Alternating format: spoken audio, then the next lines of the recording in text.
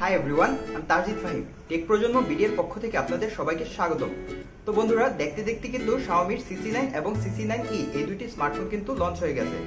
এই দুটি স্মার্টফোনের মধ্যে কোন ক্যামেরা ইউজ করা হয়েছে? এর মধ্যে কোন প্রসেসরটা ইউজ করা হয়েছে এবং কি কি ইউজ করা হয়েছে এবং এর প্রাইস কত? বাংলাদেশে কবে এটা অ্যাভেলেবেল হবে? এই সব কিছু নিয়ে ডিটেলসে জানতে পুরো ভিডিওটি দেখবেন। আর ভিডিওটি শুরু করার আগে আমাদের চ্যানেলটি কিন্তু অবশ্যই সাবস্ক্রাইব করবেন। আর অলরেডি যদি সাবস্ক্রাইব করে থাকেন তাহলে থ্যাংক ইউ সো মাচ তাহলে চলুন ভিডিওটি শুরু করা যাক।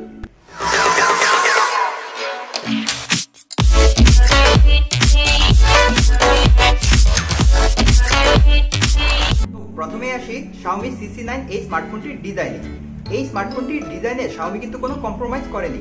এই স্মার্টফোনটির ব্যাক পার্টে ইউজ করা হয়েছে গ্লাস প্যানেল এবং এর প্রোটেকশনে থাকছে গরিলা গ্লাস ফাইভ মানে সামনে পিছনে দুই জায়গাতেই গরিলা গ্লাস ফাইভ ইউজ করা হয়েছে। আর এই স্মার্টফোনটি কিন্তু পাওয়া যাচ্ছে তিনটি অ্যামেজিং কালারে লাল, নীল এবং সাদা।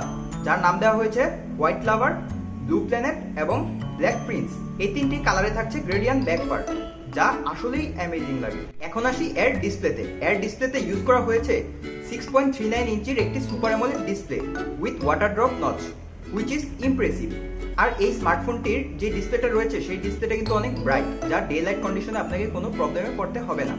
আর এই সুপার অ্যামোলেড ডিসপ্লেটির ভিতরে রয়েছে একটি ইন ডিসপ্লে ফিঙ্গারপ্রিন্ট আর এই যে ফিঙ্গারপ্রিন্টটি রয়েছে, সেটি হলো সেভেন জেনারেশনের যা দুর্দান্ত ফাস্ট আর সুপার অ্যামোলেড ডিসপ্লে হওয়ার কারণে এর মধ্যে কিন্তু আপনারা পাচ্ছেন অলওয়েজন ডিসপ্লে এই অলওয়েজন ডিসপ্লেটি কিন্তু আপনারা কাস্টমাইজ করতে পারবেন। মানে এর যে থিমগুলো রয়েছে, সেই থিমগুলো কিন্তু আপনারা চেঞ্জ করতে পারবেন। এই ছোট ছোট জিনিসগুলো কিন্তু অনেক ম্যাটার করে। তার সাথে পুরো স্মার্টফোনটিকে পাওয়ার দেওয়ার জন্য থাকছে একটি ফোর থাউজেন্ড থার্টি এমএইচ এর একটি ম্যাসিভ ব্যাটারি যা আগের থেকে থার্টি এমএইচ বাড়ানো হয়েছে।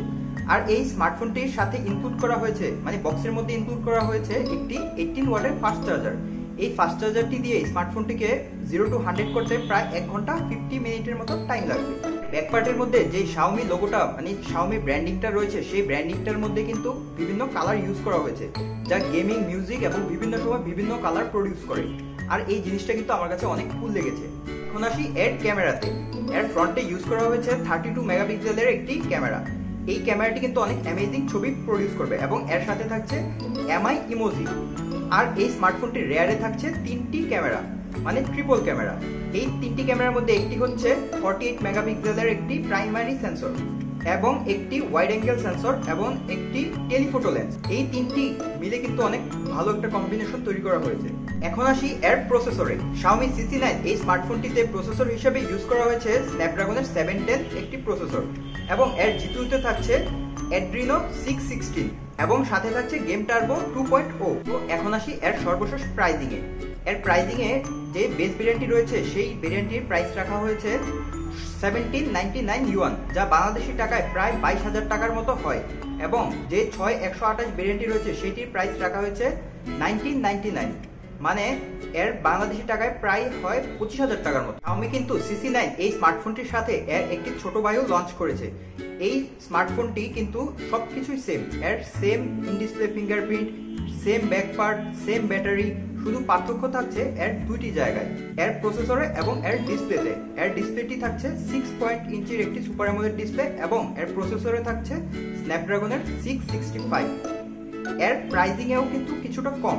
এর যে চার চৌষট্টি ভেরিয়েন্টটি রয়েছে, সেই ভেরিয়েন্টটির প্রাইস রাখা হয়েছে টুয়েলভ নাইনটি নাইন যা বাংলাদেশি টাকায় প্রায় ষোলো হাজার টাকার মতো। আপার ভেরিয়েন্টগুলোর প্রাইস রাখা হয়েছে থার্টিন নাইনটি নাইন এবং ফিফটিন নাইনটি নাইন ইউয়ান এরই সাথে শাওমি সিসি নাইনের একটি থাকছে মে টু এডিশন যা স্পেশাল এডিশন এই স্পেশাল এডিশনটির প্রাইস রাখা হয়েছে পঁচিশশো নিরানব্বই ইউয়ান যা বাংলাদেশি টাকায় প্রায় তিরিশ হাজার টাকার মতো হয়।